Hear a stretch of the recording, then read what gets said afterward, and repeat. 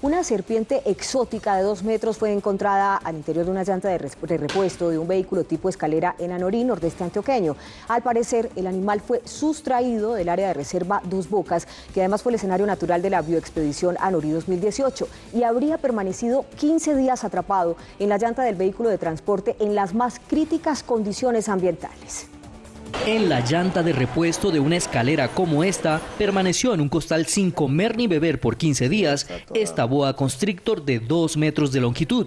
El conductor del vehículo tipo escalera se percató del animal cuando intentó hacer un cambio de llantas. Venía en, en un costal, en la escalera, aparentemente parecía como un tráfico de, de serpiente o el animalito de fauna. Es una serpiente que no nos hace para nada daño, antes nos controla algunas especies de roedores como los ratones. Esta serpiente puede vivir en bosques tropicales y fríos, por eso fue liberada en los bosques de la Casica Anoría, área cercana a la cabecera municipal de Anorí, a 1.600 metros sobre el nivel del mar.